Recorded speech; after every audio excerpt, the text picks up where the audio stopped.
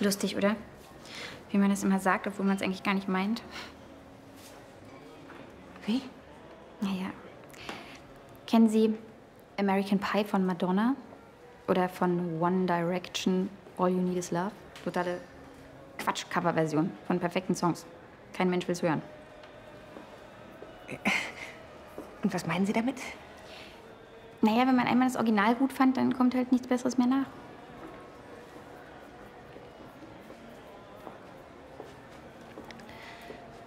Hatten Sie schon einmal einen perfekten Song? Nee, ich hatte leider nur einen ganz schlechten Schlager mit einer total verkackten letzten Strophe. Und was ist passiert? Naja, wir waren irgendwie viel zu jung, große Liebe, tralala, wollten zusammenziehen, naja. Und dann?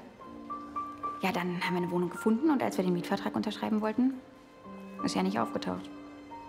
Und stand nicht da. Nie wieder was von ihm gehört. Was? Was? Mhm. Ein bisschen so der oberflächliche Typ.